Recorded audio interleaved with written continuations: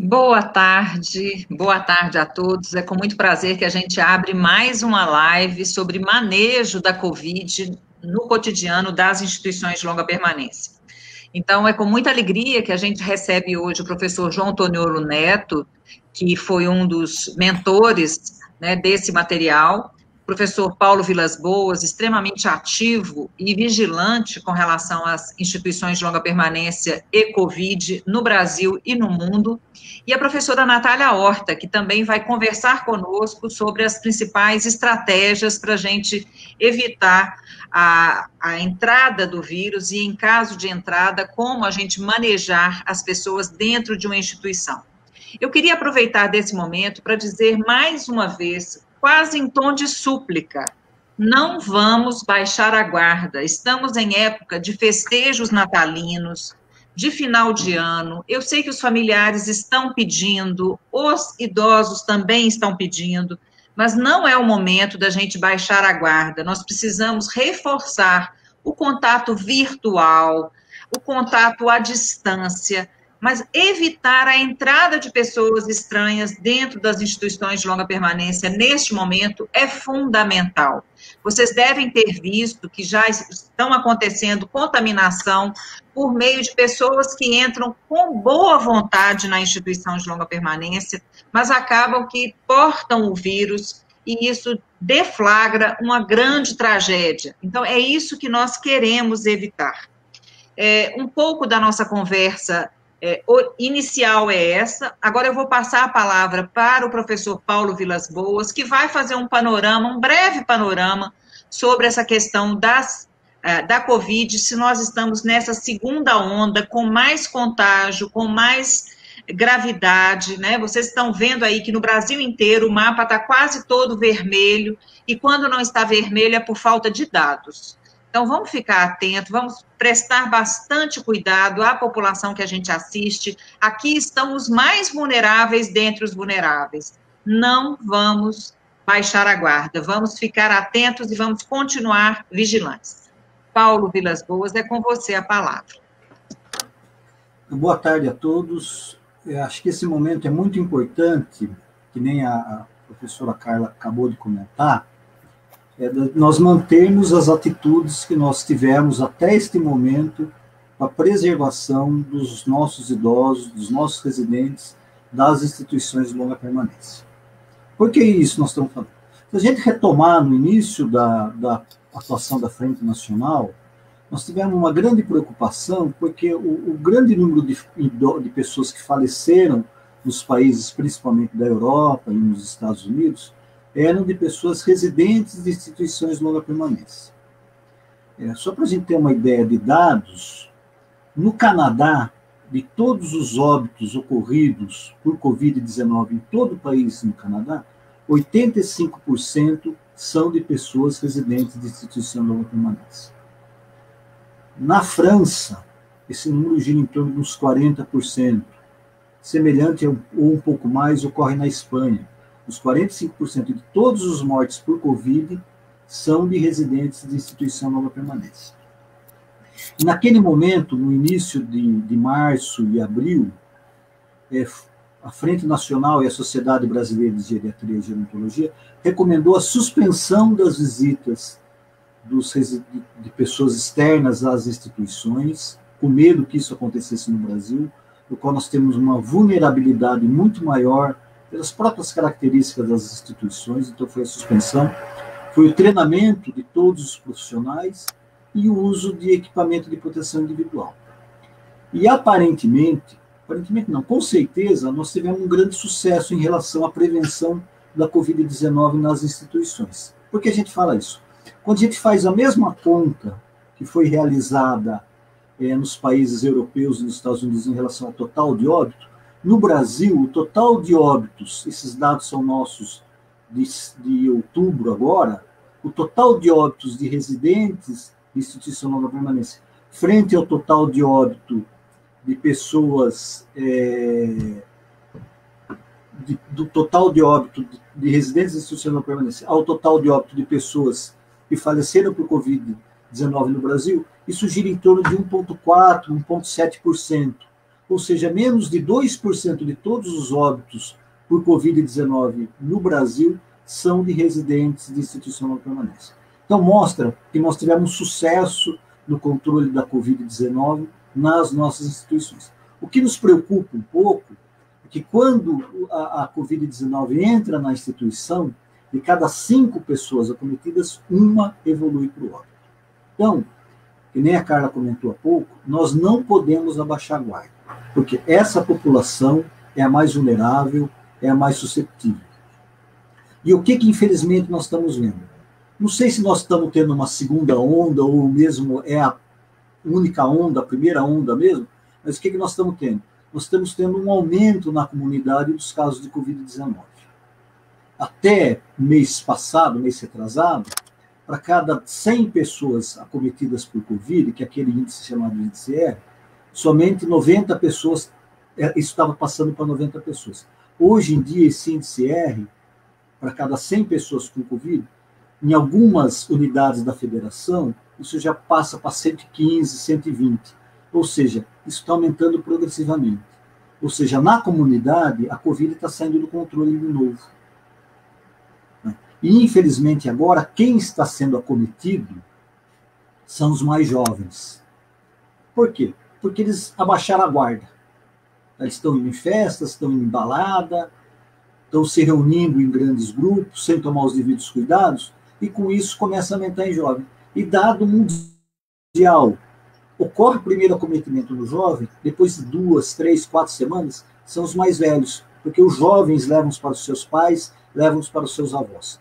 Então, nós não podemos abaixar a guarda neste momento nas instituições da permanência. A gente sabe que nós estamos próximo das, das épocas das festas, todos nós temos saudades das nossas pessoas mais velhas, dos nossos entes queridos que estão na, na, institucionalizados, mas se permitir a, a visita, se nós flexibilizarmos as visitas, permitir que esses idosos saiam para, para, suas, as suas casas e posteriormente voltem para as instituições, nós temos que tomar muito cuidado, porque nós estamos vivendo um momento de potencial crise mesmo nas instituições. Então, nós temos que continuar com a guarda bem levantada, tomando todos os cuidados para não ter o problema que aconteceu no começo do ano nos países europeus. Hoje em dia, nos países europeus, o cenário é diferente. Eles estão tomando os mesmos controles que nós tomamos no início do ano tá? porque nós aprendemos com eles, tá? de não, não ter abaixar a guarda. Então, como eles estão tomando as mesmas medidas, nós também devemos continuar mantendo as mesmas medidas de controle. Tá? Depois a gente pode falar um pouco mais da necessidade de fazer exames, de fazer é, a sorologia ou fazer o teste rápido. A gente deixa para um segundo momento essa discussão. Tá?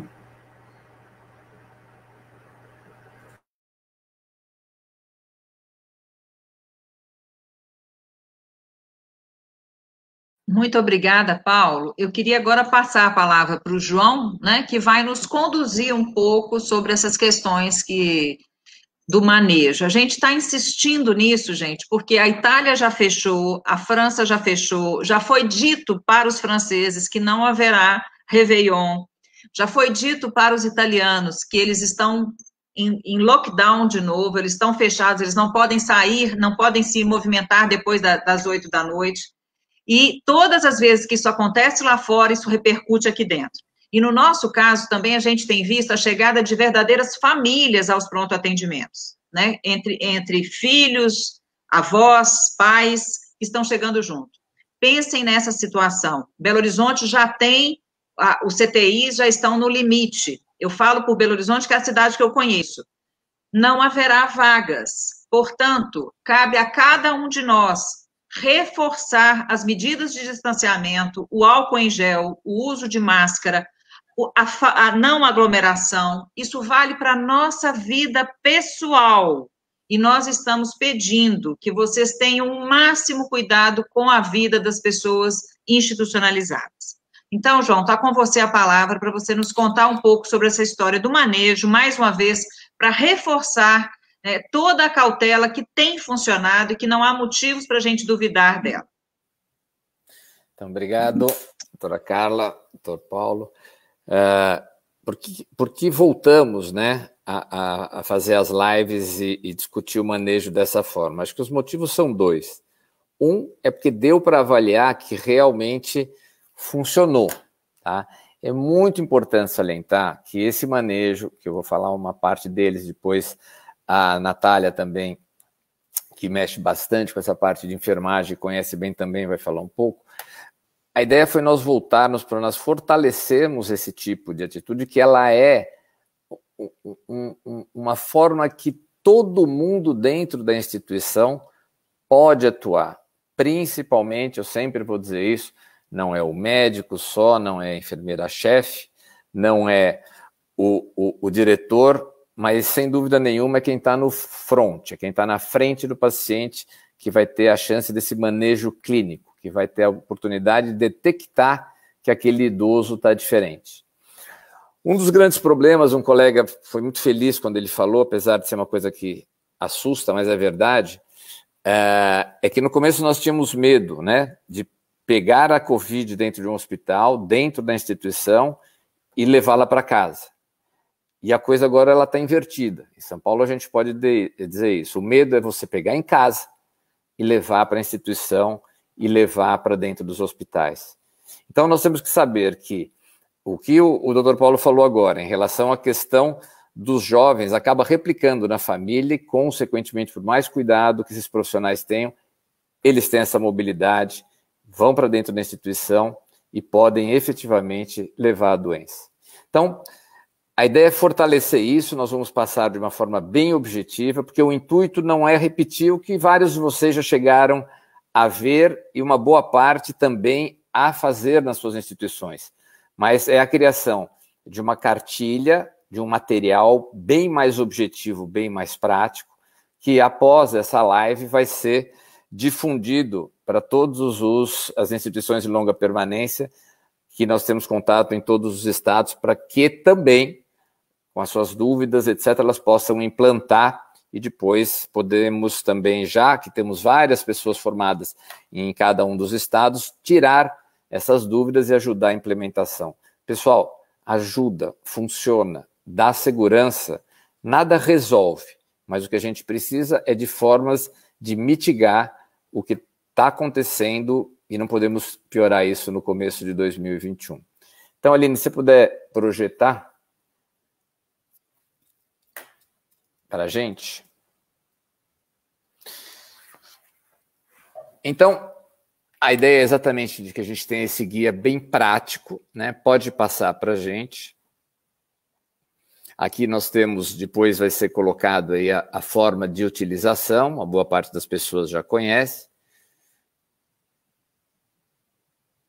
Podemos ir até para as nossas tabelas. Tá, alguns dos aspectos fundamentais são esses, né? Reduzir a morbimortalidade nas pessoas infectadas, minimizar a transmissão. Esse miolo é muito importante, que é essa garantia de proteção dos trabalhadores envolvidos manter o funcionamento das instituições. Nós sabemos que algumas foram, infelizmente, dizimadas pela Covid, outras perderam muito dos seus funcionários e da sua força de trabalho. E, óbvio, manter, como a Carla falou, essa comunicação entre os hóspedes e familiares da melhor forma possível, e hoje eu digo, da única forma ainda possível, que é o não contato físico. Pode passar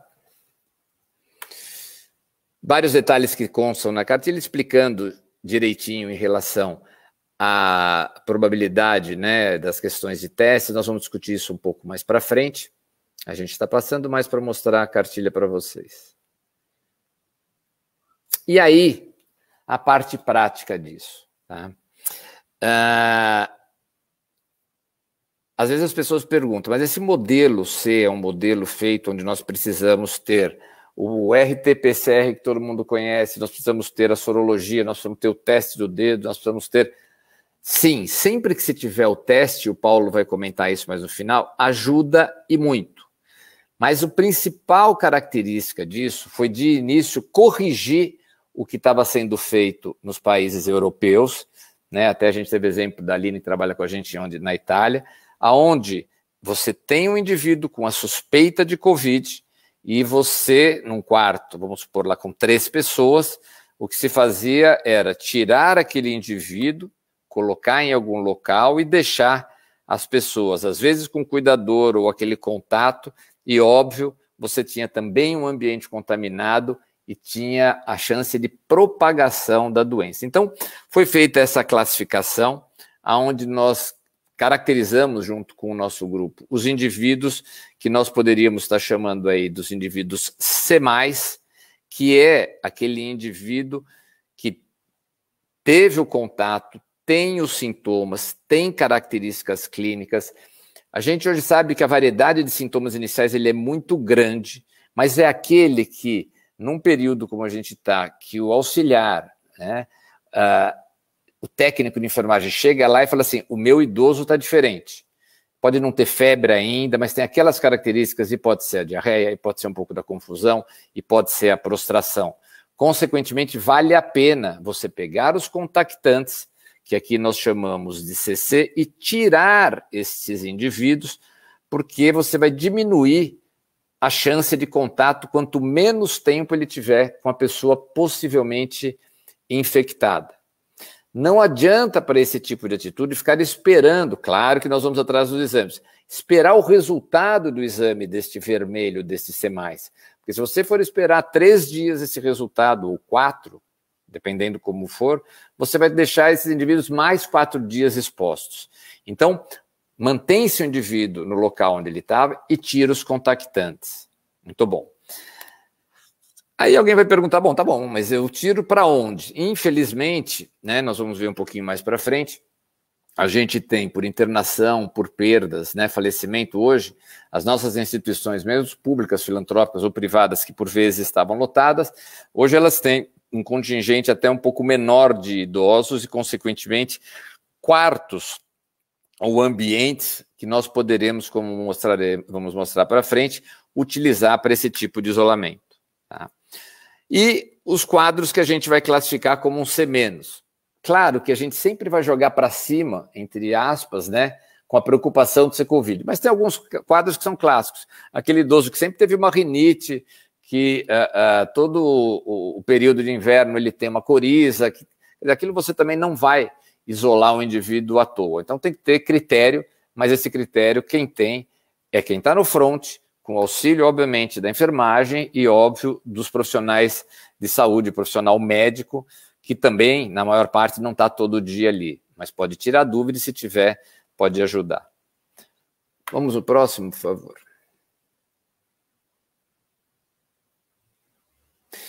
Isso aqui é mais para nós entendermos, eu não vou me deter ao, ao, algoritmo, porque o algoritmo é só uma forma de raciocínio de nós olharmos para quando a gente tem um indivíduo com quadro de um síndrome gripal. Nós tivemos esse ano uma quantidade muito menor de quadros outros respiratórios, como influenza, né? Em função o quê? Da máscara, da proteção mecânica que a gente tem, não necessariamente da questão medicamentosa, da menor quantidade de contato dentro das instituições que as pessoas, ou familiares mesmo, netos, etc., podem levar para dentro da instituição. Então, Uh, se mitigou também as outras infecções respiratórias, que em idosos caminham também para infecções mais graves, pneumonias e às vezes internação. Mas a Covid realmente é diferente nesse aspecto e nós não podemos, né? Eu, eu costumo dizer assim: dá para a gente entender a primeira perda que nós tivemos no início de controle em relação ao desconhecimento mas fica muito difícil de entender, com todas as dificuldades que a gente sabe, as pessoas estão cansadas, as pessoas.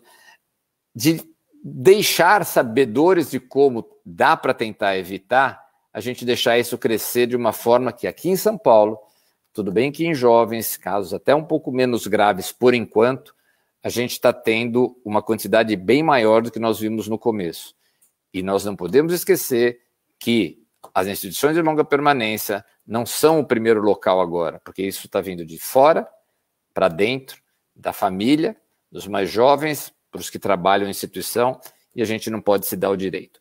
Voltando aqui, é mais uma forma que nós vamos mostrar mais ali numa, numa planilha, num, planilha chamada Kanban, de nós tentarmos classificar esses indivíduos como o C+, o mais provável, o C- e de que jeito que a gente vai descartar e que forma que nós podemos manejar esses indivíduos, permitindo com que se mitigue a chance de nós termos mais infecções dentro.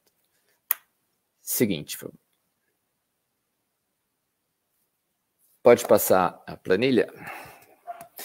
Aqui é só a forma prática da gente entender, né? Quer dizer, esse Kanban é uma palavra né, que significa registro, sinal visível, muito utilizado em algumas especialidades, muito utilizado por infectologistas. Né? Você imagina numa enfermaria uh, onde você tem quadros infecciosos, que você tem indivíduos que tenham ali quadros de pneumonia, quadros de flu, quadros de arreios, quer dizer, é uma forma de você mapear as pessoas com cores e tentar olhar para dentro daquele seu ambiente, seja ele hospitalar e agora transferido para dentro da instituição, para entender o que está acontecendo ali e tentar evitar que aquele local, aquele ambiente, aquele quarto, aquele fómite, aquele material que possa ter contaminado, estar contaminado, tenha contato com, no caso, os outros idosos. Próximo, por favor.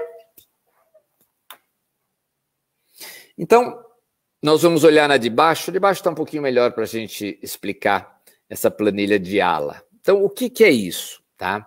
Então, vamos imaginar que a gente tem ali uma instituição de longa permanência. Essa instituição de longa permanência, nós vamos ter ali idosos em quartos, aqui só para simular, ou de dois, ou quarto de três, ou quarto de quatro.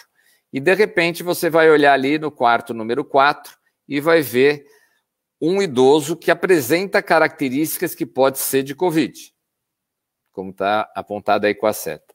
A hora que isso acontece, esse indivíduo vai ser chamado de um C, que é onde nós vamos olhar ali aquela parte vermelha, né? E também ali exatamente em direção ao nome dele no quarto. Automaticamente nessa suspeita, o mais rápido que for possível, nós pegamos o, o, o idoso que está do lado ou idosos, tiramos desse ambiente e colocamos num quarto isolado, observando aquele C mesmo, e aí se eu conseguir exame fantástico, mas se é um quadro que se configura como Covid, se colher o exame sempre melhor, vamos falar um pouquinho mais para frente, e aqueles outros dois separados dele, né, e separados, para a gente ver se eles desenvolvem sintomas. Porque se eu esperar um, dois dias, ou se eu esperar o exame, eu não vou ter um caso, eu vou ter com certeza três casos. E com isso a gente consegue ter uma visão, por exemplo, de um andar, uma visão de uma ala, aonde a gente consegue olhar e ver que ali é um local também, se puder subir um pouquinho ali também de volta, tá?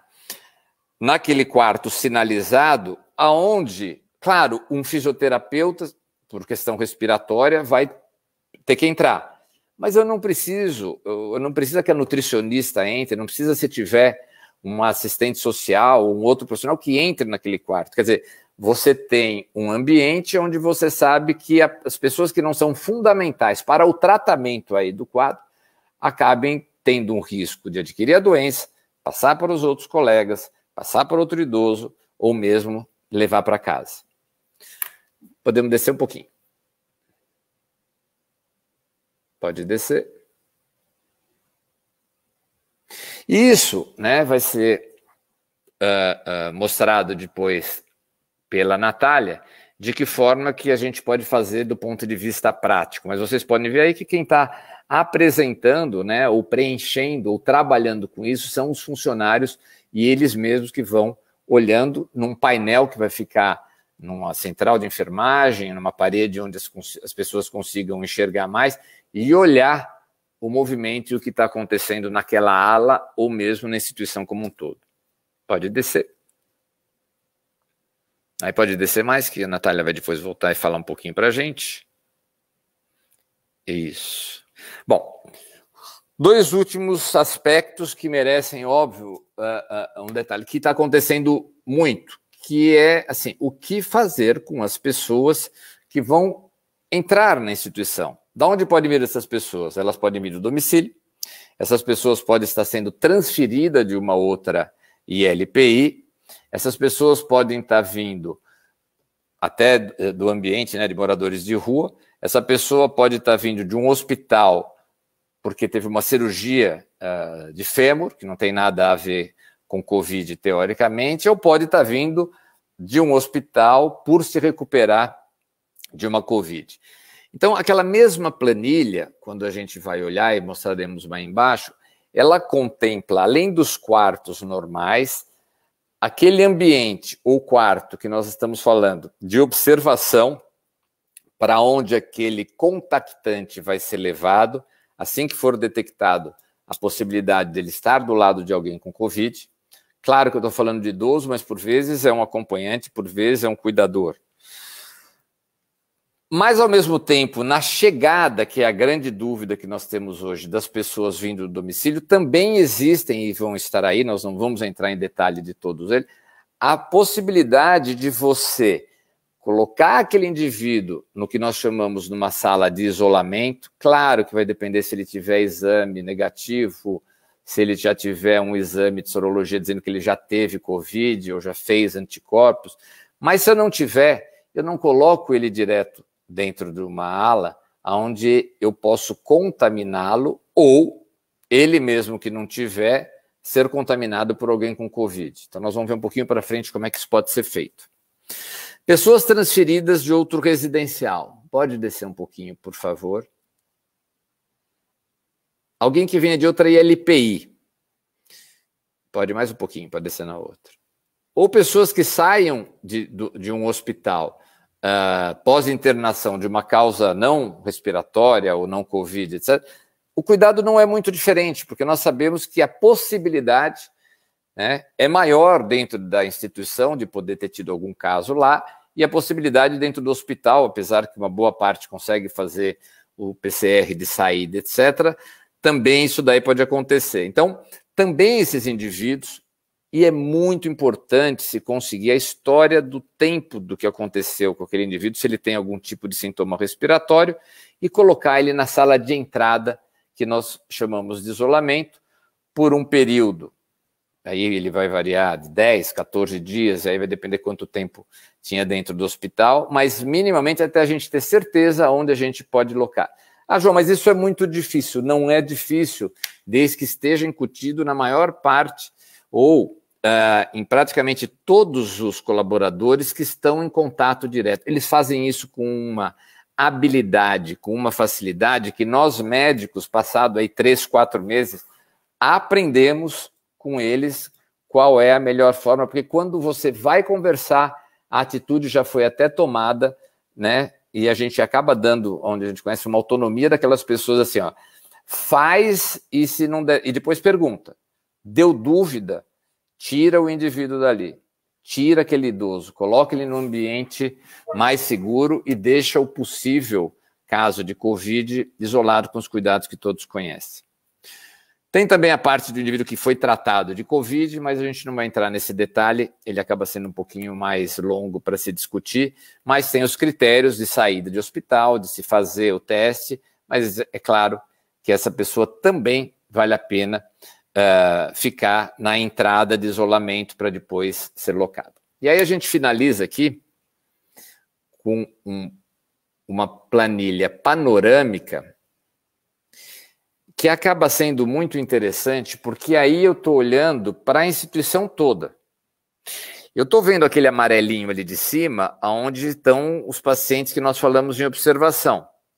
E estou vendo aquele último quarto lá embaixo, aonde são os pacientes, os idosos não são pacientes, né, no caso, se tiver vindo de hospital, mas se não idosos estão vindo do domicílio, etc., que estão entrando pelo isolamento.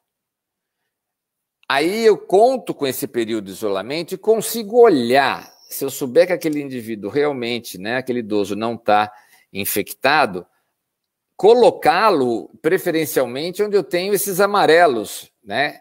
E evitar a ala ou o quarto, claro que depende da disponibilidade, mas é muito mais fácil você poder olhar, ter essa visão panorâmica para saber qual é a sua, entre aspas, pior ala de contaminação para esses idosos e locar aquelas pessoas que não têm Covid, que você já tem um período dela de quarentena em locais mais seguros. Tanto para quem entra e você proteger quem já está dentro, hospedado na, na, na instituição, quanto para quem uh, está lá dentro, né, dentro da instituição, e você evitar essa mobilização, esse contato. Não é simples, é uma coisa lógica, que a partir da hora que a pessoa esteja treinada, todos eles têm uma visão bem prática de como fazer. Então, obrigado. Eu vou passar agora para a Natália, e o objetivo era passar relativamente rápido para a gente revisar isso, mas como objetivo maior é a divulgação desse sistema que efetivamente, repito e finalizo, funciona do ponto de vista clínico, do ponto de vista do dia a dia, do conhecimento do colaborador. Uh, também a Natália agora vai nos ensinar como acessar esses instrumentos para conseguir tê-los uh, nas nossas instituições. Obrigado, Natália, com você. Obrigada, João. Bom, pessoal, então, como João, Paulo e Carla colocaram, né, nós estamos em um momento em que todos nós precisamos manter as medidas preventivas, manter todas as medidas de detecção precoce dos casos suspeitos dentro das instituições de longa permanência e estar tá atento né, a essas necessidades é, de isolamento nas instituições e dos cuidados nas, na, na, no Natal, né, e nas, nas ações aí, nas comemorações de final de ano, que precisam ser diferentes, né, a gente já vem falando disso muito aqui na frente, né, e aí eu queria trazer para vocês o lema, né, do, do, do Natal que a gente trouxe na, na Frente Nacional de LPI, neste Natal eu quero ser presente, né, junto para as instituições construírem junto de todos os residentes da rede sócio-familiar, e na frente de fortalecimento dos conselhos de direito da pessoa idosa, que a gente traz neste Natal de saúde de presente. E esse lema eu queria que ficasse para todos os profissionais, todos os cuidadores, toda a equipe que atua nas instituições de longa permanência, para que a gente leve esse lema conosco e comemore de um modo diferente o nosso Natal, porque na semana seguinte ou no dia seguinte é preciso que todos nós possamos retornar nas instituições. E a gente sabe que o potencial de circulação do vírus de entrada no vírus pela do vírus nas instituições pela equipe é muito grande. Então a gente clama, né, mesmo, a palavra acho que é essa, a todos vocês que se mantenham vigilantes com as medidas preventivas de autocuidado para que a gente possa cuidar do outro, né? Então, assim, a, a na frente de, de fortalecimento dos conselhos, a gente tem trazido uma reflexão, né, se vale a pena correr o risco da presença nesse Natal em detrimento da ausência, do risco de ausência nos próximos, né? Então, assim, é com muita, muita força que a gente traz a todos os profissionais que atuam nas instituições esse pedido, que a gente já tem conseguido impactar, né, nessa, nessa redução da mortalidade nas instituições de longa permanência aqui no Brasil, e em time que está ganhando, a gente não mexe, né? Então, que a gente continue com a adoção dessas medidas, que a gente continue vigilante, né? Para impactar nessa, nesse, né, nessa minimização dos riscos aí para dentro das instituições, né? Então, no guia, pessoal, o guia ele tem 18 páginas, e nessas 18 páginas a gente traz de uma forma bem prática, por isso é um guia prático, né? As orientações mais importantes, as estratégias necessárias para se baixar todas essas planilhas, né, como o doutor João trouxe aqui, Paulo, é, Carla, a gente vem, fez aí várias capacitações desse material de manejo e a gente tem insistido nessas orientações, porque o momento exige isso de todos nós, né? Então, no material a gente traz e aí reforçando né, a importância do registro, né, da gente resgatar as medidas preventivas desde a triagem ativa, junto de todos os profissionais, né? Então, assim, toda a cautela agora nessas datas festivas que a gente tem de final de ano, para que a gente possa manter vigilante, né? E é, garantir toda a adoção das medidas preventivas, a triagem ativa, tanto dos profissionais quanto dos residentes nas instituições, né? É, e a gente garantir, então, que todos os casos suspeitos sejam manejados corretamente dentro das instituições. E o registro por toda a equipe de cuidadores, de técnicos de enfermagem, de todos os profissionais que estão dentro das instituições, ele é fundamental. Então, na cartilha, a gente traz, inclusive trazendo ilustrações né, de instituições que utilizaram do, do Kanban como uma estratégia de registro para esse monitoramento diário, né? Então, a gente precisa fazer o um monitoramento diário de todos os residentes em relação a todos os sinais e sintomas, né? E esse registro, então, ele pode ser feito através das planilhas, que a gente também deixa no guia prático para que vocês possam baixar em Word, em Excel, de diferentes formas, né? Ou imprimir e utilizar da forma como é possível, manual dentro das instituições, mas que a gente seja vigilante. Quanto maior a circulação viral que a gente tem na comunidade, a gente sabe que aumenta o risco dentro das instituições de longa permanência. Então, por isso, a gente está aqui reforçando a adoção dessas medidas, né? A manutenção da triagem dos residentes, da triagem dos profissionais na chegada nas instituições, né? Do monitoramento de todos os sinais e sintomas junto da equipe, né? E aí, na cartilha, então, a gente traz na, na, volta para mim, Eliminha, lá no, no, início da cartilha, só para repassar um pouquinho com todo mundo, né, o que a gente está propondo. É, a gente traz no início da cartilha a, as orientações mais, é, é, né, assim, apresentação do guia prático, né, para a implantação da cartilha, a gente traz um pouco da frente, né, explicando um pouco da, da reforçando as ações da frente para vocês, né, e na sequência a gente traz aí os elementos fundamentais dos planos de ação dessas medidas de ação preventiva e de manejo da Covid, reforçando a garantia da proteção dos trabalhadores, né? Porque o que a gente quer fazer mesmo é minimizar a transmissão dentro das instituições, né?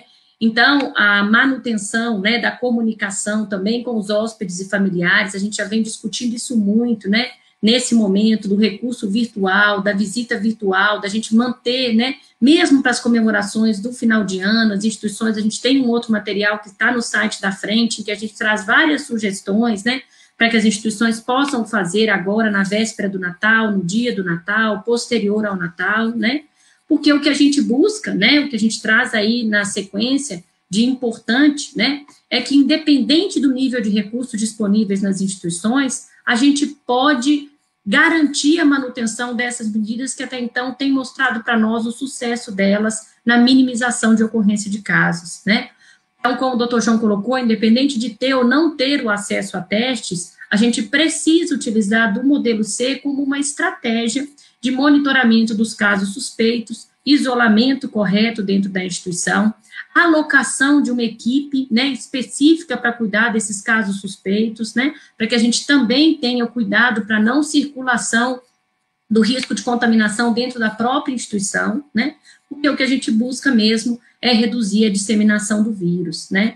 Então, na sequência, a gente traz, como o doutor João colocou, o, o modelo C, né, de classificação dos casos. Então, a gente tem a estratégia aí para se fazer um guia de bolso, né, que é possível vocês imprimirem, inclusive, né, é, para que toda a instituição tenha clareza, todos os profissionais tenham clareza de, do que monitorar nos residentes, né, e na sequência, a gente traz aí para vocês as possibilidades da utilização do Kanban com as planilhas, como o doutor João colocou, né, para que seja é, registrado esse monitoramento diário, né, então, a gente sabe, gente, que é documentando, que é fazendo monitoramento dia após dia, é que a gente consegue estar atento às mudanças mais sutis, né? E mudanças que os cuidadores que estão ali no dia a dia, que conhecem é, cada residente, podem é, é, perceber né, de uma forma muito sutil, muito imprescindível para manejo correto desses casos dentro das instituições, né?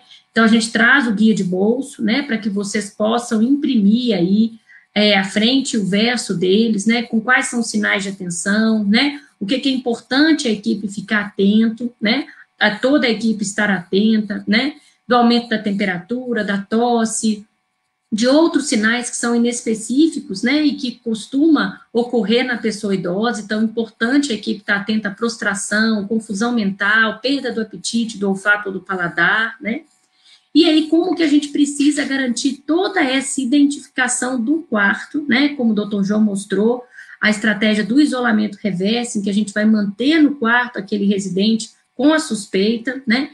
E a necessidade da gente, então, é, informar aos demais residentes, a toda a equipe, que aquele quarto é um quarto identificado. A gente traz a proposta aí da identificação com a cor vermelha, né?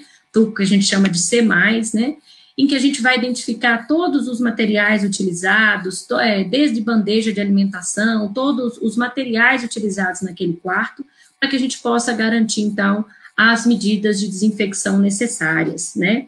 Então, nunca é demais a gente reforçar aqui, pessoal, a necessidade da utilização da máscara, da garantia do distanciamento social, da desinfecção correta das superfícies é, e da lavagem das mãos, né? Então, que a gente mantenha todas essas medidas na rotina das instituições, que a gente mantenha as medidas junto da nossa família, né? Para que a gente possa minimizar a ocorrência de um, um, mais uma situação caótica que a gente já se aproxima cada dia mais dela, né? E que a gente pode agir a favor de, de mantermos a nossa vigilância, né? Então, a gente sabe que a gente está próximo da, de ter a, a, vacina aqui no nosso contexto, no Brasil, e a gente pode manter, né, não podemos, nessa reta final agora, a gente relaxar na adoção dessas medidas, né, então, que a gente garanta o isolamento preventivo tão importante e necessário, que o doutor João colocou aí na sequência, né, a gente traz um material na sequência, para aqueles, aqueles idosos e que tiverem necessidade, sim, de que saibam das, das instituições para hemodiálise, para é, quimioterapia, para outras necessidades de cuidado com a saúde imprescindíveis, né? Mas que a gente, então, utilize desse material para reforçar todas essas orientações dentro das instituições. Né? Então, a gente chama de guia prático, porque a intenção é trazer nele, de forma simples, objetiva e prática, todos os lembretes necessários para que a gente continue juntos e firmes nessa ação a favor da pessoa idosa institucionalizada. Então, a gente está à disposição aí de todos vocês para o que tiver de necessidade, mas que a gente esteja, sim, juntos a favor de toda pessoa idosa institucionalizada, porque toda pessoa institucionalizada importa para todos nós. Então, acho que para esse momento são essas questões, e a gente segue, então, aí com a doutora Carla, doutor João, doutor Paulo, conversando sobre as questões que vocês tiverem para trazer é, para a gente, né? No material, a gente tem lá o, o link para vocês baixarem todo o modelo C, tá? Então, tem a opção baixar agora, é só vocês clicarem nessa, nessa opção para vocês poderem baixar, tá? E aí vocês vão ter acesso ao Drive e no Drive com todas as planilhas, todos os modelos que estão contidos no guia, tá? Então, a intenção é que seja prático mesmo para vocês, para que seja fácil para todas as instituições utilizarem. O guia está no site Frente Nacional e lpi.com.br, né? Então, todos vocês podem acessar na, no site da Frente Nacional, que vocês vão conseguir baixar lá. A gente colocou como primeira opção manejo clínico, guia prático para implantação, e junto de lá vocês encontram os demais materiais que a gente é, produziu até hoje na frente, das medidas preventivas, da, da sugestão para reinvenção do Natal nas instituições, a cartilha completa do manejo, a de visitas e outros materiais que a gente tem produzido aí na frente.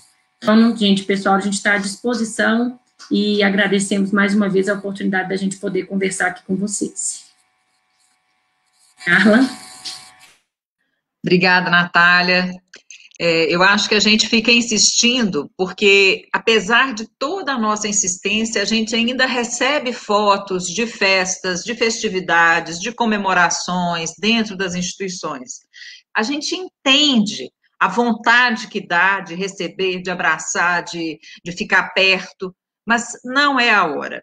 E para vocês terem noção, assim, o que acontece, gente, é que se você se contaminar agora, você tem uma janela em que você não sabe que está com a, com a Covid, que está com o vírus, né? E você porta esse vírus e caminha com ele por onde você é, trabalha, frequenta e tal. Então, a gente tem o que acontece hoje, às vezes, vai repercutir na instituição uma semana, duas semanas depois, né? E isso, no nosso sistema de saúde, que já está muito sobrecarregado, né, de norte a sul do país, a gente insiste que nós temos uma população que nós sabemos aonde mora, nós temos uma equipe de cuidados que pode ser treinada, que pode compreender a necessidade de todas essas medidas restritivas neste momento, e a gente insiste que a gente respeite este momento. Não está na hora ainda Eu gostaria de dizer o contrário, mas eu não posso dizer o contrário. Eu tenho certeza que o professor Paulo Vilas Boas, o professor João, a professora Natália também não podem dizer o contrário, né?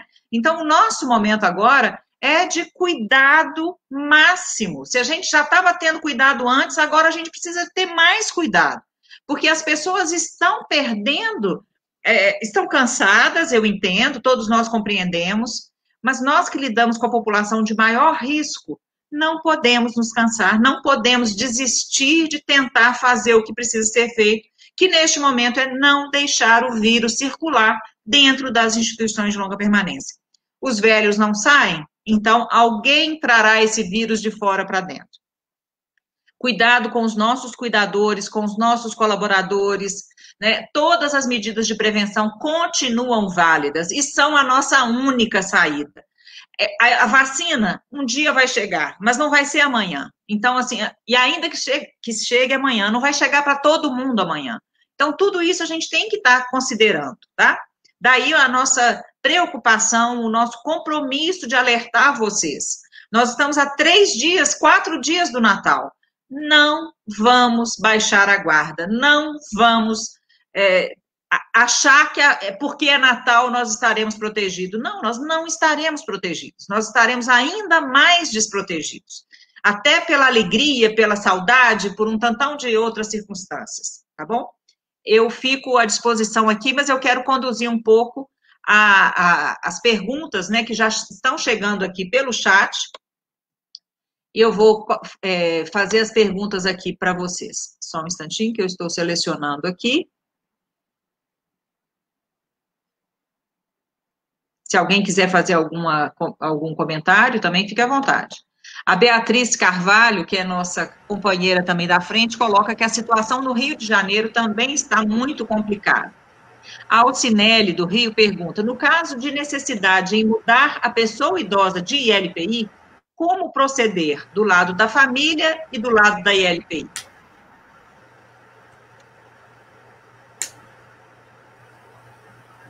Quem responde?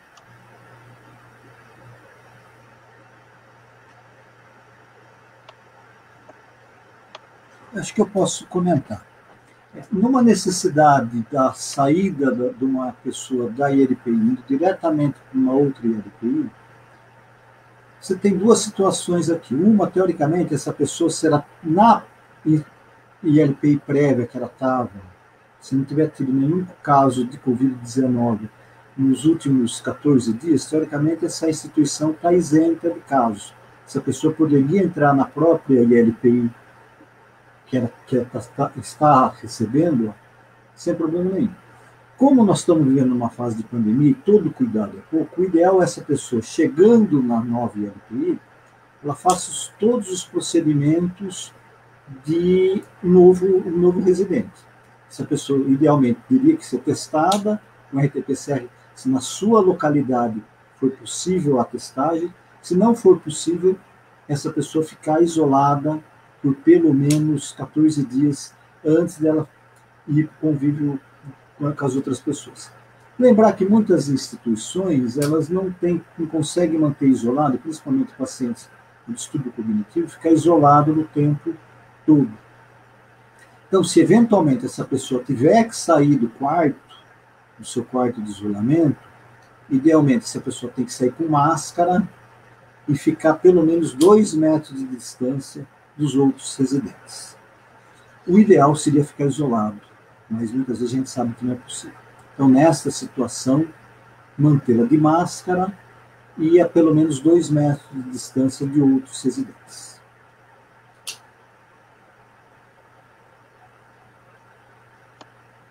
João, quer comentar alguma coisa? Você está sem som, viu, João? Só para te falar.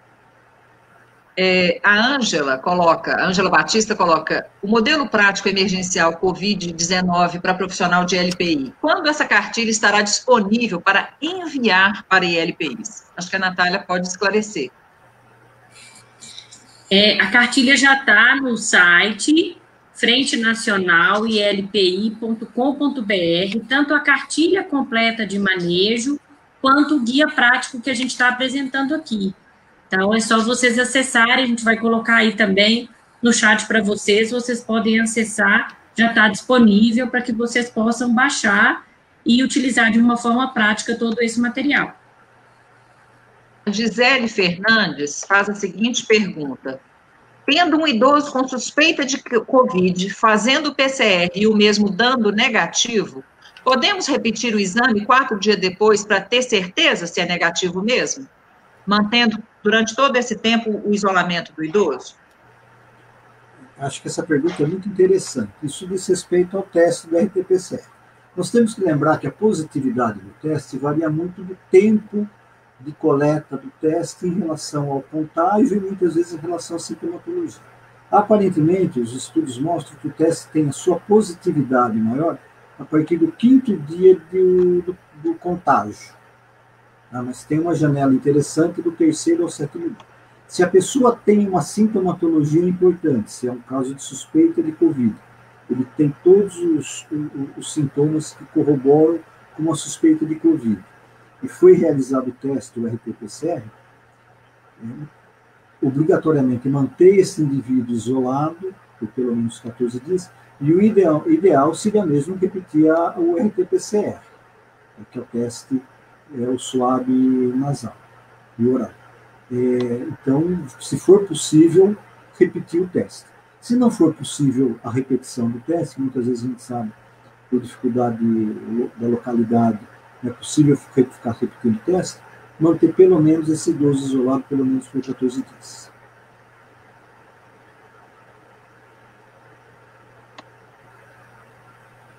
João, libera o som.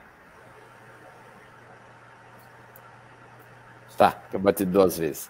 Eu queria só agregar, né, na verdade, nem complementar o que o Paulo falou, que com a questão de Natal e visitas, ou até mesmo das reuniões de famílias, uh, as pessoas estão se valendo de fazer o teste para como se fosse um passaporte para poder ou visitar ou se reunir em grandes grupos.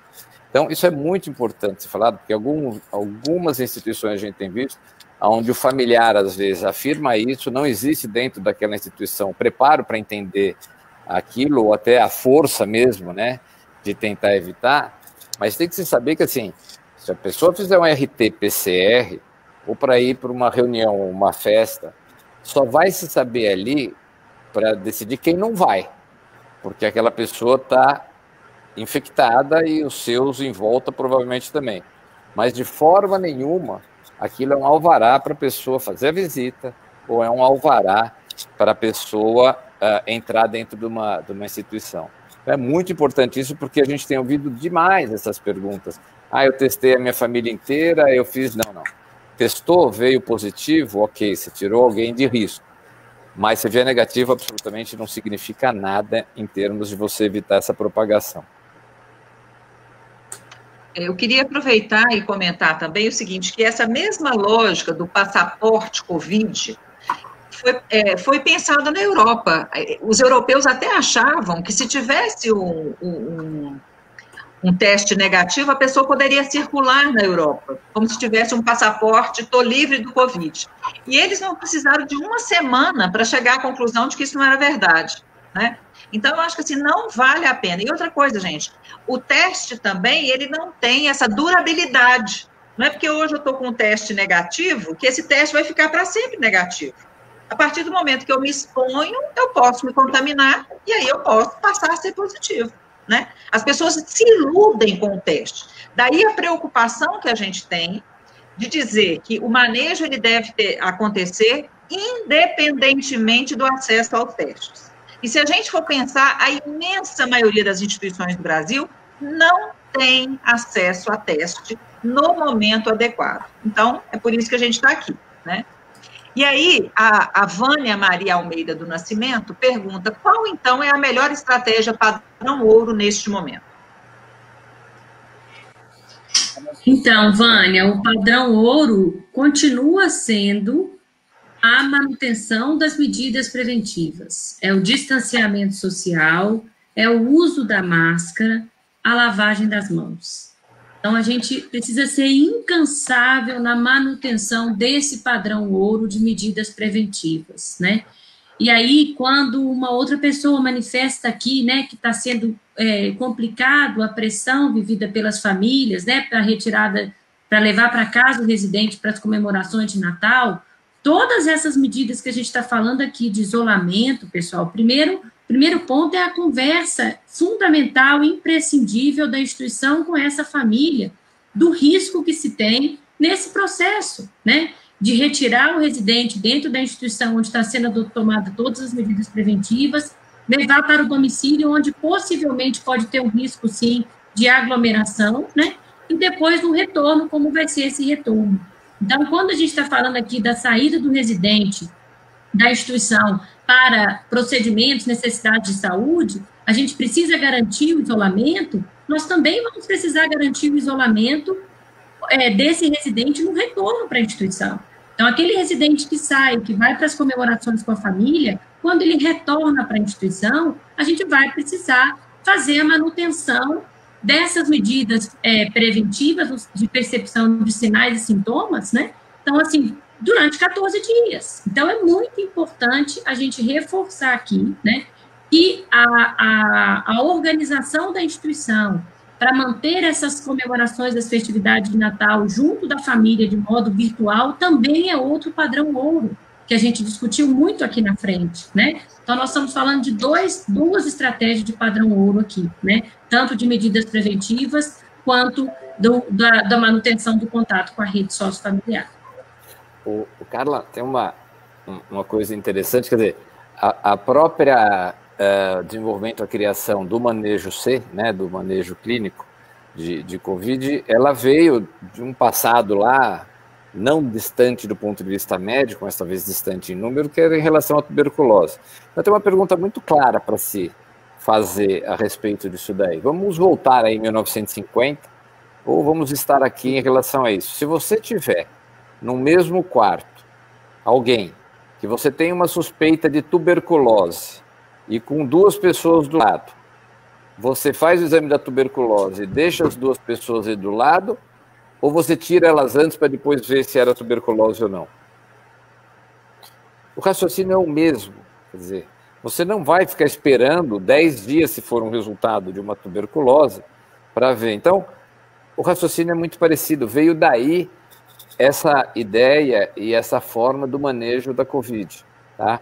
É que parece que o nome tuberculose lá assustava muito mais, ainda incrivelmente assusta muito mais, né? mas ninguém ia ficar do lado, entre aspas, de alguém com uma suspeita de tuberculose. É, a própria Vânia também coloca, a Vânia Maria Almeida do Nascimento, que nós teremos muitos natais ainda. O importante é preservar as nossas vidas e a vida de quem nós amamos. E é isso mesmo, né? Eu acho que essa é a decisão difícil do momento, mas isso não nos impede de estar em contato. Por isso que o lema da frente é: neste Natal eu quero ser presente. Ser presente significa estar presente, não necessariamente estar é, é, de corpo físico lá, mas se mostrar presente. Dar um telefonema, fazer uma videochamada, né? dizer para o outro, olha, eu estou lembrando de muito te ver, nesse momento não dá, mas assim que for possível eu estou aí. Né? Eu acho que é isso que a gente está pedindo aqui o tempo todo. É, a, a Sol Oliveira, antes disso, a Denise Quog fala que dá presente, parabéns pela live, saudade do doutor João Toniolo. Nós também, Denise, nós também é. estávamos com saudade do, do doutor João Toniolo. Fala, Denise, tudo bom? É, e aí nós temos mais uma, um comentário interessante aqui. Só um instantinho que eu estou levantando. A Sol Oliveira pergunta: a família poderá ir até a instituição e ficar no, no portão e ver de uma distância de mais de um metro? Natália? Quer falar, Paulo? Pode falar. Ou eu falo? Pode falar. Fala você, Natália. Então, a gente tem um outro material que nós produzimos na frente também, né? Que está disponível no site sobre a questão das visitas. É, e aí, como eu coloquei, o padrão ouro é a manutenção da visita virtual mas as instituições, a depender da estrutura física da instituição, é possível algumas modalidades. E aí eu sugiro a leitura do nosso material, porque mesmo que esse, essa instituição tenha condição de chegar até o portão, a gente precisa garantir, sim, a distância de preferência mínima de dois metros, o uso da máscara pelo residente, né? E também todo o suporte emocional para esse residente, né? Que a gente é, ressalta isso, né? Porque todos nós estamos carentes, distantes afetivamente, é, fisicamente, mas a gente pode estar próximo afetivamente, a gente traz isso de outras maneiras, né?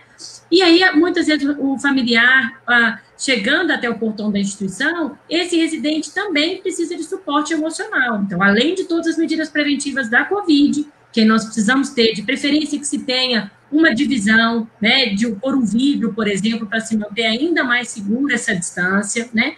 Então, eu sugiro a leitura do material nosso, que também está no site, né, em que a gente traz essas orientações para a questão da manutenção das medidas preventivas e das estratégias de vínculo com a rede sociofamiliar. A gente sabe o quanto que tem sido difícil, gente, mas é, nós precisamos manter, né, e por isso a frente está junto de todas as instituições, para que a gente se mantenha vigilante nessas medidas, né, frente ao que a gente tem vivenciado no nosso contexto aqui no mundo inteiro. É, Paulo, essa é para você. O lar de idosos Eurípides Barçanufo Lib Pergunta: Penso que isolar um idoso que consegue deambular e sofre do mal de Alzheimer pode ser difícil no caso de teste positivo. Eu acho que essa é uma das situações mais difíceis que nós temos no paciente que testa positivo, que é o paciente demenciado que tem, que consegue deambular e muitas vezes tem aquele quadro da vacância, né? Fica andando o tempo inteiro. É, e sabidamente, neste momento da pandemia, os pacientes com quadros demenciais, principalmente a doença de Alzheimer, tiveram um aumento da ocorrência dos sintomas comportamentais e psicológicos, devido ao próprio isolamento social, a mudança de suas rotinas. Nesta situação, acho que cada instituição vai, tentar, vai ter que tentar achar a sua, é, a sua conduta melhor. Uma opção interessante é tentar manter, manter esse idoso isolado o maior tempo possível. Nos momentos que não for possível mantê-lo dentro do quarto, quando ele sair do quarto, manter os outros, é, ele não ir num, num, num, ambiente que tenha outros idosos. Essa é uma opção. Uma outra opção interessante é quando esse idoso for sair, sair em locais ao ar livre. E nunca esquecer, nos locais que ele passar, tentar fazer a higienização mais frequente dos locais que ele teve contato. Sei que muitas vezes isso é impossível, mas é o que é recomendado. É, a, a, a, encaminhamento desse idoso aos locais em ar livre, se for possível, ele usar máscara, mas via de regra o paciente demenciado não aceita mesmo a máscara. Se for possível, não entrar em contato com outros residentes. E um aspecto que é importante, sempre deixar direcionado somente um cuidador para esse idoso. Isso. Isso é um aspecto que a gente eh, frequentemente a gente esquece, isso e muitas vezes a gente não consegue implementar, porque leva um desgaste muito importante do cuidador. Então, mas se for possível, deixar um único cuidador para esse idoso. Obrigada, Paulo. Ah, agora para você, viu, João? A Keitiane Carvalho pergunta: idoso com diagnóstico Covid-19 em hospital e após 20 dias internado retorna para a ILPI com declaração médica de que não há risco de contaminação. Após 16 dias de isolamento dentro da INPI, ILPI, de, devido ao protocolo da instituição, permanece com PCR positivo. Como proceder? Tá. Então, o, o, que aconteceu muito durante um período é, é que o indivíduo tinha um PCR positivo, passava um determinado período lá, ele por três meses vinha com um PCR positivo ainda. E começou a se falar muito em reinfecção. A gente sabe né? agora tem a questão da cepa tal, mas que até agora a reinfecção é efetivamente uma coisa muito rara, certo? E é muito comum alguns indivíduos não uh, uh, uh, terem ainda um PCR positivo, mas ter partícula viral inativa, que, entre aspas, teria o mesmo DNA né, relacionado à questão do vírus, mas não infectante. Então, para você dizer que o indivíduo ou está uh, ah, reinfectado, aproveitando a oportunidade, ele tem que ter um PCR positivo no meio do caminho, 60 dias de intervalo, ele tem que ter um negativo para depois aparecer um positivo depois. Esse é o critério. Então, dificilmente, né, depois de 10 dias, alguns 12, etc., esse indivíduo está infectando. Então, consequentemente, mesmo com esse PCR positivo, dá para ter uma certa segurança desse indivíduo estar tá voltando ao normal, a, a, a, ao convívio normal. É, outra pergunta interessante aqui, a, a Vanessa Luiza fala: os residentes que já tiveram Covid-19 podem visitar os familiares nesse momento? Eu acho que essa situação cai numa situação em geral. Eu acredito que não, ele não pode visitar, ele não deve sair da instituição.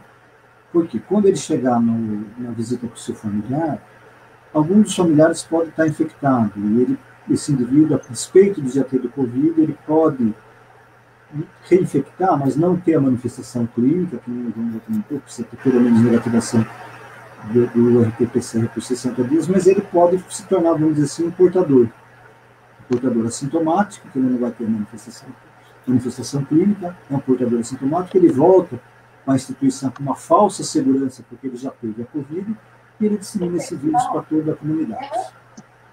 Então, eu acho que ele não deve sair da instituição. Ele, se caso eventualmente ele vá visitar, a despeito da maior segurança que ele tenha de não ter, já ter tido quadro, quando ele voltar, ele deve proceder às mesmas normas do retorno dos idosos que saíram, ou seja, 14 dias de isolamento. Dois comentários de agradecimento à frente. A Lúcia Guedes parabeniza a Frente Nacional de Fortalecimento das ILPIs pelo valoroso e corajoso trabalho que vem desde abril desenvolvendo, com muita competência, seriedade e consciência. Grande abraço a todos e todas. Desejo a vocês um Natal de muita paz, um ano novo repleto de conquista, com muita saúde para você também, Lúcia, para todo mundo que está aqui com a gente, para todo mundo que não pôde estar aqui com a gente também, para todos os idosos que estão aí, né, que a gente cuida, então que, que bom que você percebe isso, né, isso para nós é muito gratificante também. A Elaine Cardoso Gomes pergunta: muitas famílias querem levar seus idosos, mas não estão preocupados com a pandemia, a qual estamos vivenciando. Muitos desses não estão aceitando, então estamos dando a opção de não levar ou então tirar da instituição, pois hoje temos 80 idosos e desses que querem levar são apenas seis. Por causa de seis, não podemos colocar os outros em risco. Alguém poderia comentar, por favor? Então, acho que essa é uma situação, né, que a Ariane, que, que nos, nos assessora na parte jurídica na frente, né, ela sempre coloca o quanto que o direito coletivo sobressai ao direito individual nessa situação, né? Então, acho que ter a clareza da comunicação com a família, né, esclarecer a importância dessa adoção das medidas preventivas, o que tem sido adotado na instituição para resguardar a vida desses 80 residentes, isso é imprescindível, né? Então, assim, é, é importante essa discussão e essa clareza, né? junto dos residentes, junto do, de toda a rede sociofamiliar e junto de todos os profissionais, né? E ressaltar a importância da ação permanente das medidas preventivas também pela equipe nesse contexto, né? Porque a gente precisa, sim, resguardar todos os residentes pela não deslocamento, mas também resguardar o papel e a responsabilidade de cada um de nós como profissionais, né? é, na manutenção dessas medidas preventivas, inclusive nesse contexto que a gente está vivendo de proximidade do Natal, né? Então, acho que essa, essa questão do direito coletivo que se sobressai ao direito individual em um contexto como esse é imprescindível da gente ressaltar aqui. Outra pergunta da Cirlei Soares. O isolamento agora não é 10 dias? O, a questão, assim, claro que conforme eu, eu costumo dizer assim, a gente demorou 50 anos para aprender várias coisas ou algumas sobre tuberculose, demoramos uh, ah, 35 anos para aprender algumas coisas e ainda muito déficit em relação ao conhecimento da AIDS, não é em sete meses, oito, nove, que a gente vai conhecer uma doença nova como a Covid. Então, o, o, na hora que você vai fazer os trabalhos, a hora que você vai ter os trials, a hora que você faz as, Realmente a tendência hoje é que você chegue de 10 a 12 dias. Mas as informações de início de sintoma e as informações de positividade de teste, né, principalmente início de sintomas, elas são muito falhas às vezes. Então, mesmo você tendo esses 10 dias como um indicador, como um limite de segurança, a gente ainda não está fugindo dos 14 dias, que seria uma segurança. Só que eu digo que, assim, pode ser que daqui a pouco aparece que é 12, que é 11, então a gente tem que entender que a Covid é uma curva de Gauss com conhecimento pequeno e muita variável aqui. Então, de uma certa forma, quanto mais você tiver uma margem em relação a isso, é uma garantia que essa pessoa, obviamente, não vai estar saindo e contaminando. A Aline Assenheimer, perdão, agradece, muito bom, relatando nossas realidades e dificuldades diárias. O Fabrício Arroio coloca, boa tarde, sou enfermeiro de ILPI. No dia 18 de novembro, todos os idosos e funcionários foram testados, RT-PCR. Os funcionários não testaram positivo, porém uma idosa testou positivo. No exame do dia 26 de novembro, novamente, todos os idosos funcionários realizaram o RT-PCR. Nenhum funcionário testou positivo, porém, duas idosas sim. Foram, realizados todos os protocolos isolamento eh, e nos exames dos dias 3 de dezembro e. Peraí, faltou um pedaço aqui, só um instante. Os exames do dia 3 de dezembro e. Cadê você, meu caro? e 10 de dezembro deu negativo, todos os idosos e funcionários. Agora será realizado o RT-PCR somente nos funcionários. Eu acho que ele está em dúvida em relação a essa questão. Por que, que às vezes o idoso dá positivo, não tendo funcionário positivo, e depois nenhum positivo? Essa, essa dúvida sempre é muito frequente. O que, que acontece depende muito do que a gente chama do momento epidemiológico da coleta do exame muitas vezes eu coleto de todos os funcionários e algum dos funcionários em algum outro momento teve a doença, teve a, a, a, infecção, não teve sintomatologia nenhuma e na, lembrar que você pode ser positivo até sete dias do até sete a dez dias depois da sua infecção. Então vamos supor que eu coletei o exame do, de todos os funcionários e, e um dos funcionários teve essa infecção no começo há 10 dias atrás, hoje, quando eu coletei, ele foi negativo. Só que neste período ele teve trabalhando. Daí, quando eu fui coletar dos, dos residentes, um deles deu positivo. Então, por quê? Porque o funcionário já teve a infecção previamente, curou, depurou o vírus, não teve sintomatologia nenhuma, só que ele passou, ele foi um, um portador assintomático, só que ele passou para o idoso. Isso pode acontecer. Não é raro acontecer.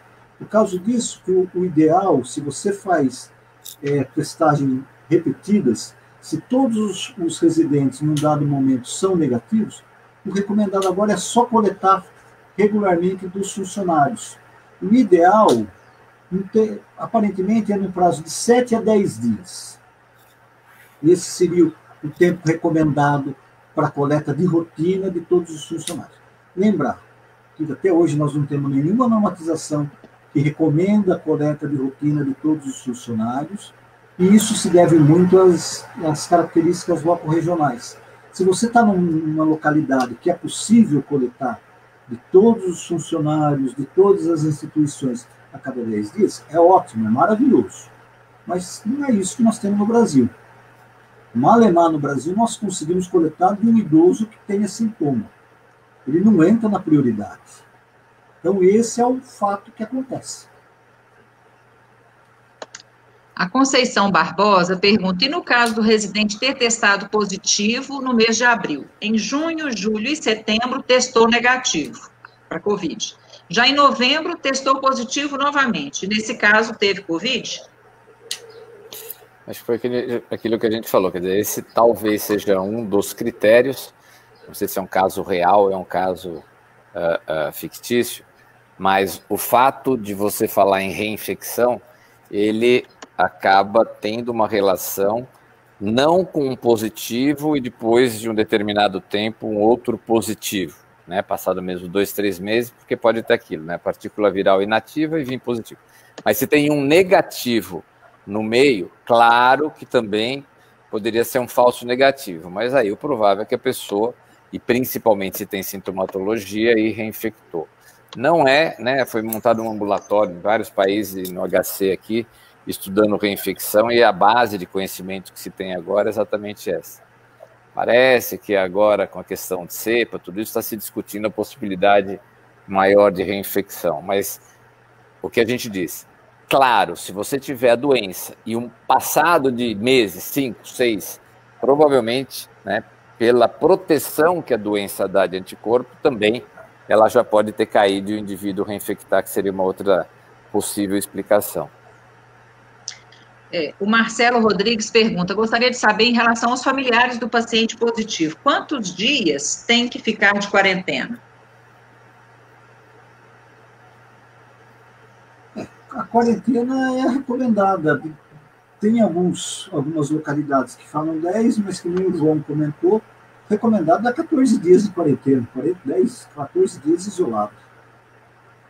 Você teve contato com qualquer pessoa, independente se é residente ou não, mesmo na comunidade. 14 dias de isolamento é, o, é a medida mais efetiva para você é, quebrar o ciclo de transmissibilidade do vírus.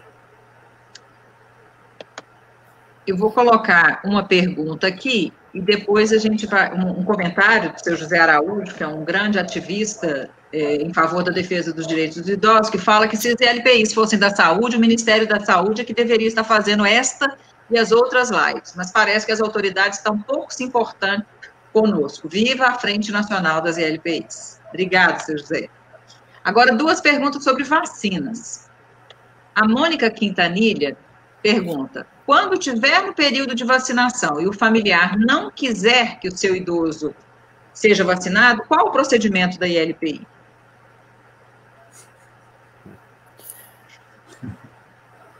Olha, responder, João? Quer que eu responda? Pode responder. Não, pode responder e, e, eu dou minha opinião na sequência. É, que nem a, a Natália já comentou, aqui nós vamos estar discutindo da, do benefício da coletividade. É óbvio. É. E numa situação de pandemia, a despeito do que as autoridades maiores falam, que isto foi uma gripezinha, que não vai tomar vacina, eu vou tomar vacina, tá, o que tiver, independente do país de origem, é, e porque é a medida preventiva mais eficaz, mais efetiva que existe em toda a história da prevenção das doenças infecciosas. E para você quebrar qualquer ciclo de transmissão, que eu quero, no começo todo mundo falava, nós precisamos ter imunidade de rebanho, ou seja, ter um grande número de pessoas contaminadas que evite a, a propagação desse vírus, provavelmente nós não vamos atingir, esperamos que não atinjamos a imunidade de rebanho com as pessoas pegando a Covid-19. Porque em vez de 180 mil mortes, nós vamos chegar provavelmente a 500 mil mortes, meio milhão, acho que é um número bem interessante, né? Então, a vacina tem que ser dada.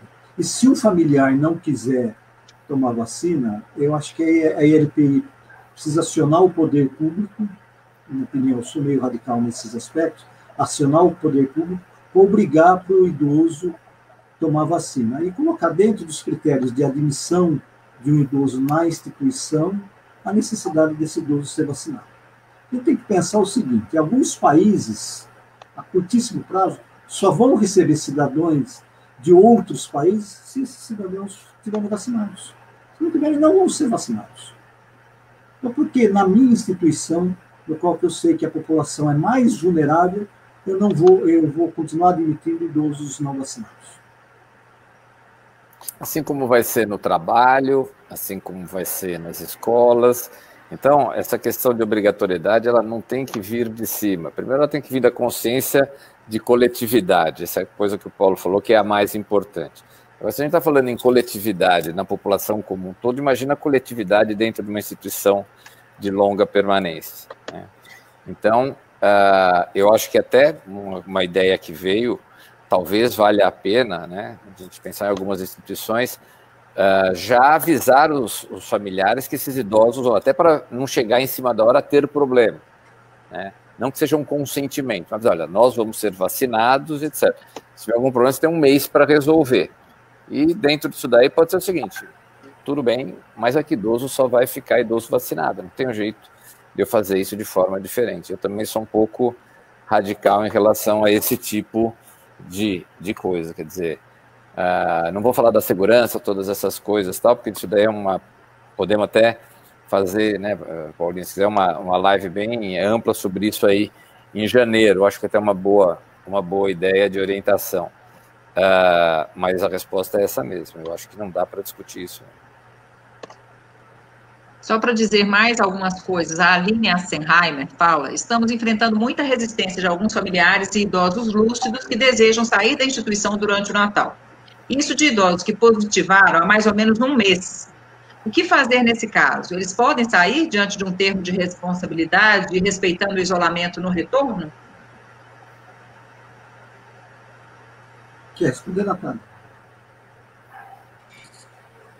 Pode comentar, Paulo. É, eu acho que nessa situação é aquela velha discussão da autonomia e da independência do idoso. Se o idoso é lúcido, ele tem todas as suas possibilidades de opção, eu acho que ele pode sair fazendo todos os procedimentos, o termo de responsabilidade, e no retorno, claramente, ele tem que seguir as regras da instituição. Ele tem que voltar e ficar isolado. É uma opção do indivíduo que ele tem a opção da escolha. Aí ficar isolado 14 dias. Se for possível, dependendo do tempo de saída desse idoso, isso também não está muito bem determinado, se é a partir do terceiro ou do sétimo dia, se ele for possível fazer um RT-PCR três dias antes do retorno à instituição, seria ideal. Mas isso não está muito bem definido quanto tempo pré-retorno precisaria colher o RT-PCR. Mas no retorno ficar isolado pelo menos 14 dias.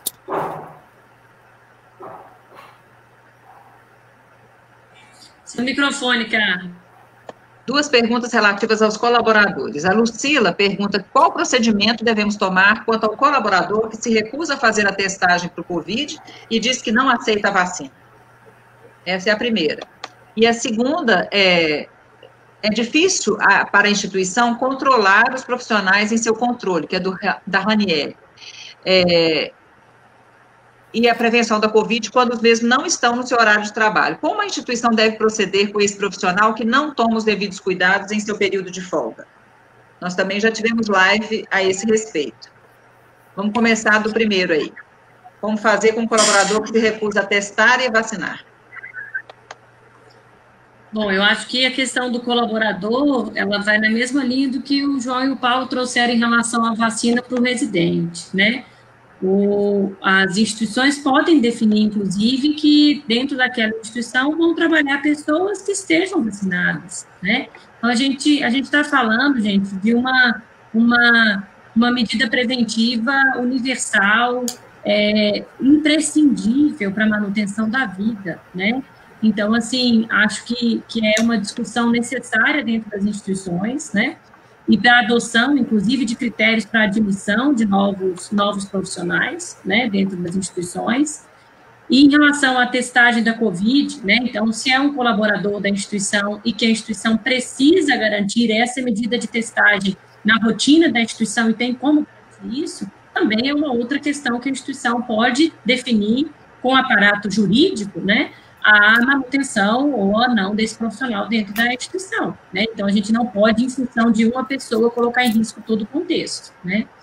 Em relação a essa questão da, da, da do período de, de, de, recesso, fora do horário de trabalho, né, da, de toda a equipe, é, acho que todo gestor precisa e conhece bem a equipe que tem, né? Então, a gente é muito importante que todo gestor reforce de uma forma colegiada, de, construa essa responsabilidade junto de todos os seus colaboradores, né?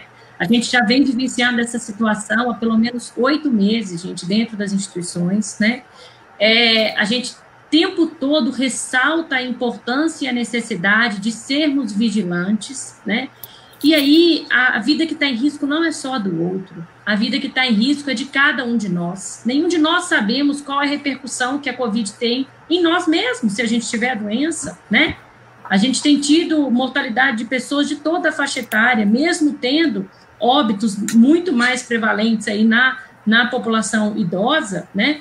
A gente tem óbitos de, da população de toda a faixa etária, de profissionais de saúde ou não, né? De todos os as, é, infelizmente, né, assim, a Covid não tem nenhuma, nenhum critério de seleção e que nós não sabemos como a gente vai é, comportar se formos acometidos, né?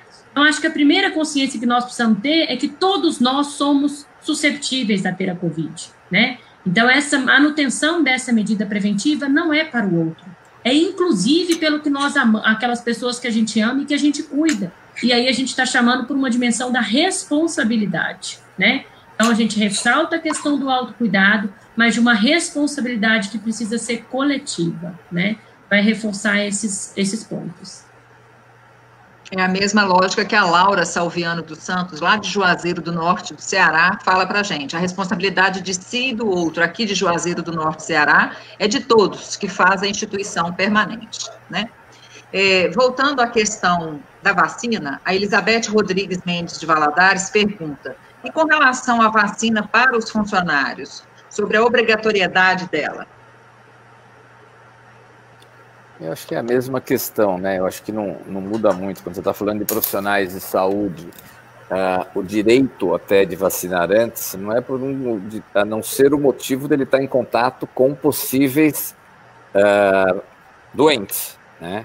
E uh, se ele está em contato com possíveis doentes idosos ainda, eu acho que a regra tem que valer do mesmo jeito. Quer dizer, se ele está, entre aspas, colocado na frente para se vacinar, provavelmente não é porque ele tem 35 anos, mas é porque ele tem contato com gente que tenha ou uh, um, um, uma base de saúde menor ou uma idade que predisponha em relação a isso. Então, acho que a regra tem que funcionar da mesma forma. Né? A responsabilidade do coletivo é o que a gente tem que estar tá falando agora, não as questões individuais.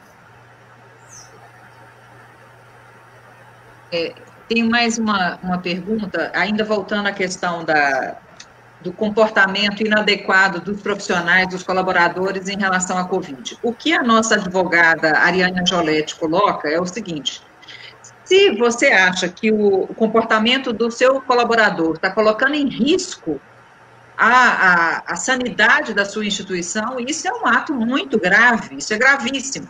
Mas se você achar que isso é motivo de justa causa, você tem que dar a, a, demissão dele na hora que ele entra na instituição e não deixar ele cumprir o plantão para depois você falar que você vai dar justa causa para ele, porque viu no Facebook dele que ele estava fazendo um churrasco com os amigos na praia, entendeu? Então, assim, a gente tem que ser coerente. A gente, se é para dar demissão por justa causa, então é demissão por justa causa imediatamente, a partir do que você considera, do que você julga que foi um comportamento inadequado a ponto desta gravidade, né? Agora, nós estamos num momento muito difícil, então o nosso momento é de insistir, insistir e insistir na educação, na, no convencimento. Nós estamos cansados, vocês estão cansados, mas parece que as pessoas têm dificuldade de entender, né? Então, nós vamos estar aqui de novo. E semana que vem, se precisar, nós estaremos de novo. E na outra também. Porque o que a gente percebe, gente, é que esta é a diferença. A diferença é a responsabilidade coletiva. Então, nós temos que trabalhar pela responsabilidade coletiva, né? Acho que isso está tá muito claro. Queria falar uma coisinha rápida, Carla, que é assim, claro que a gente responde as perguntas, né, que vem em relação aos funcionários que não colaboram, mas acho que a gente tem que ressaltar, até por esses resultados aí que o Paulo falou, né, da comparação do que lá que a gente está falando de uma minoria, tá? Porque se a gente tivesse uma maioria fazendo isso, uh, efetivamente os nossos resultados dentro de instituições eles estariam muito piores. Então, claro que tem a exceção, é importante falar da exceção, mas é importantíssimo falar o quanto essas pessoas estão se dedicando, o quanto essas pessoas estão cuidando, quanto essas pessoas, de uma certa forma, acabam se arriscando em termos de ter a doença, levar para casa. Então, é, é, não dá para se falar o valor dos colaboradores né, que estão dentro das instituições trabalhando todo esse período, que eu acho que a gente tem que ressaltar bastante isso também. Eu... E acho, João, do quanto que está dando certo, né? A Maura trouxe um comentário para a gente aqui, né, de que é, a instituição dela, durante é, é, todo esse período da pandemia, trouxe uma rotina de cuidados, né, criou uma rotina de cuidados que tem conseguido manter essa rotina que está dando certo, né? Então, assim, acho que isso que você traz do reconhecimento, do investimento, do cuidado, do zelo coletivo de todos os profissionais, né, de toda a equipe da instituição, o quanto que isso é imprescindível e o quanto que está dando certo, né? Então, assim, a gente reforça a manutenção dessas medidas, a manutenção desse cuidado dentro das instituições, né? E o quanto que os cuidadores e toda a equipe têm se esforçado para que isso dê certo, que a gente precisa garantir isso, né? As pessoas, eles realmente, a gente tem que estar, tá, assim, orgulhosos do trabalho que está sendo feito, porque é diferente do hospital, onde desde o início, entre aspas, você tem o app correto, você tem a paramentação correta, você tem... Não, as nossas instituições não são assim. As nossas instituições, nós sabemos que a maior parte delas, algumas conseguem dar toda a condição, por isso que eu falo, o pessoal do, do front é o responsável pela coisa dar certo. E óbvio, o pessoal do front que eu falo, os auxiliares, a enfermagem, toda a parte relacionada de técnicos, e óbvio, o restante da equipe, pessoal de limpeza, etc. É entre vocês mesmo. Quando você vê que alguém está te colocando em risco dentro daquilo, tá? eu acho que a coisa tem que ser resolvida na conversa mesmo, até falar, espera aí. Né? Então, eu acho que essa própria responsabilidade e a discussão do grupo mesmo, ela é muito importante, mais do que às vezes chegar um chefe, eu só vou te mandar embora.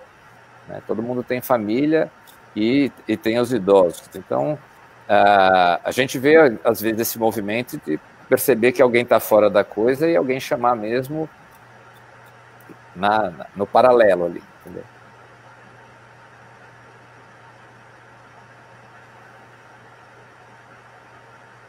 Carla, seu microfone. Desculpa, eu fecho para vocês ficarem falando é. melhor e acabo fechado. É, a pandemia nos trouxe um olhar totalmente diferente em relação ao cuidado do idoso e também do cuidado de quem cuida, é a fala da Silvia. E a Helena, do residencial geriátrico, coloca que ela realizou no residencial um termo de responsabilidade para todos os funcionários e até agora não teve nenhum caso no residencial. É, gente, nós já estamos com quase uma hora e quarenta de live. Eu sei que nós estamos na semana do Natal. Eu queria pedir encarecidamente que vocês que assistiram essa live compartilhem com pessoas que não tiveram a chance de ver, que não puderam participar aqui, porque essa nossa conversa ela tem que bater de porta em porta.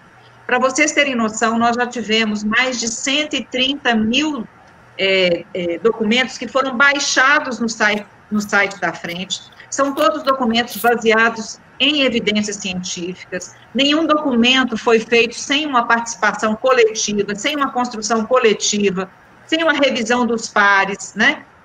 Então, o nosso compromisso como frente, ele permanece.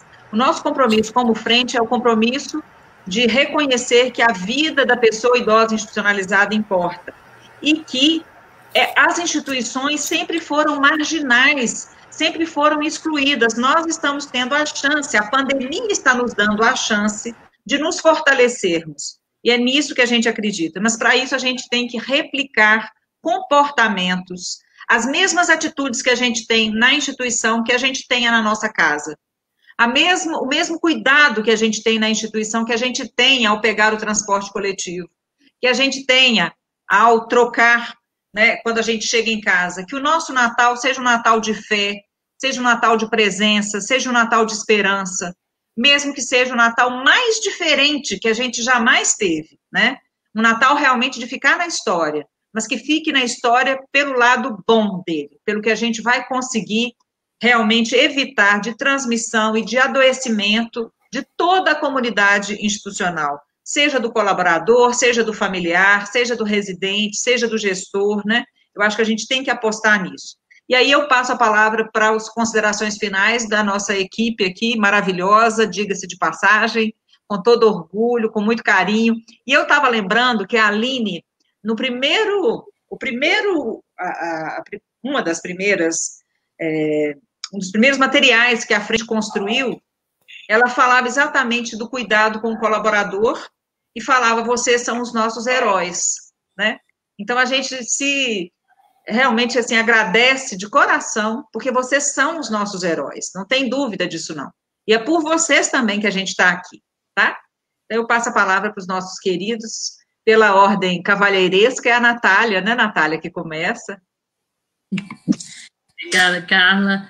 Bom, pessoal, acho que é só reforçar, né, que a frente está junto de todas as instituições, né, que vocês sempre contem conosco, né, para que a gente possa reforçar esse coro da manutenção das medidas preventivas, de que toda a vida da, de pessoa idosa institucionalizada importa, né, e que a gente esteja junto a favor de toda pessoa institucionalizada. E que todo esse sucesso que a gente está tendo de manutenção dessas medidas de preventivas, do cuidado, né, é, de, de retaguarda, inclusive para a saúde mental de todos esses profissionais que estão na linha de frente, né, não tem sido fácil, a gente tem certeza disso.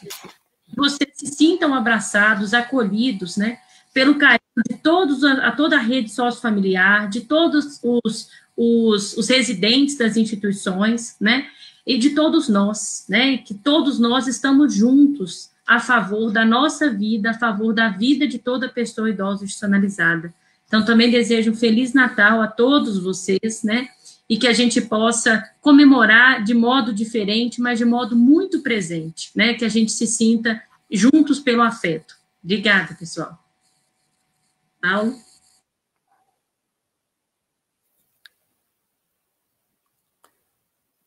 Seu microfone. A Aline, a Aline está cumprindo a regra lá, falando que vocês são os nossos heróis, que, que é daquela cartilha que a gente fez. Posso só, antes disso daí, Paulo? O, o, o, o Carla, coordenadora, por favor. Às vezes a gente tem a noção que os profissionais de saúde que estão ajudando só dando conta, mas às vezes a gente tem um bastidor, como a gente tem na frente, que nunca aparece, mas que agora a nossa coordenadora vai fazer aparecer, que é a Aline, que é absolutamente a responsável aí por muitos idosos bem cuidados. Então, em vez de nos mostrar, por favor, se apareça, que a gente queria te agradecer todo esse Verdade. trabalho, antes do Paulo e eu falarmos mesmo. Aí, ali. Aí, ali. Parabéns, obrigado de tudo. Sem dúvida nenhuma, você é uma grande chave em tudo que aconteceu esse ano para que a gente, a parte técnica, pudesse tentar ajudar, mas a tua coordenação, teu empenho aí foi absolutamente fundamental para as coisas irem melhores do que elas iriam. Então tenha certeza que a tua colaboração foi fundamental. Obrigada, gente. Conectando os melhores, né? Vocês. Obrigada. Obrigada, sendo, Aline. Sendo conectado pelos melhores. É. É, aproveitando, é, inicialmente acho que eu queria agradecer a oportunidade que foi dada a todos nós de podermos participar da frente esse ano.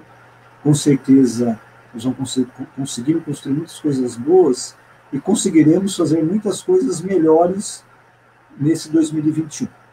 E, e se a Carla me permitir, Carla, acho que a gente sempre quando vai falar para o pessoal sobre o sucesso do controle da Covid-19 nas instituições de longa permanência aqui no Brasil, que é um modelo América Latina e mesmo para a Europa, que nós já tivemos oportunidade de apresentar, a gente sempre fala que foi a suspensão das visitas, o fornecimento de EPI, a capacitação dos profissionais, mas acho que um aspecto que a gente precisa incluir a partir de agora, escutando todo mundo falar, é o envolvimento de todos os colaboradores das instituições.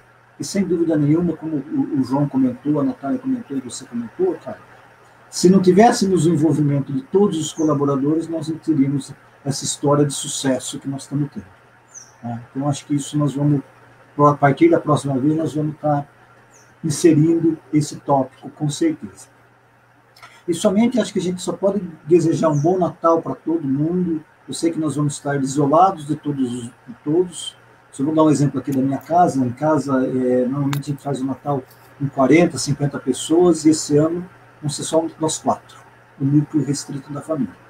Eu acho que é isso mesmo, a gente, esse ano a gente tem que estar separado, mas juntos, para o ano que vem continuarmos juntos.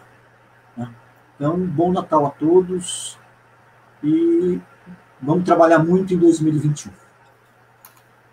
É, só para te deixar, não te deixar sozinho, Paulo, quando eu nasci, eu tinha 28 tios.